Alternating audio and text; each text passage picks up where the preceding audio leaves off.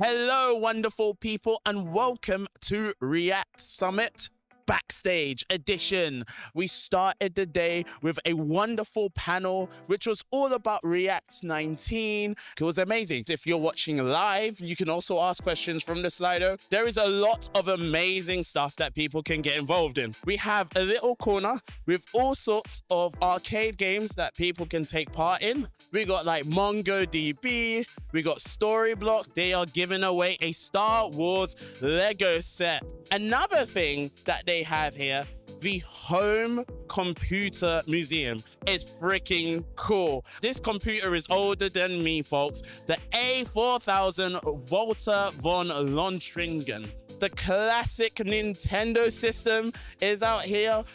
The history of computing. Does anyone want to take a photo with me? Three, two, one. Awesome. Thank you, folks. Tell your boss I said he should pay for your ticket. I'll see you next year.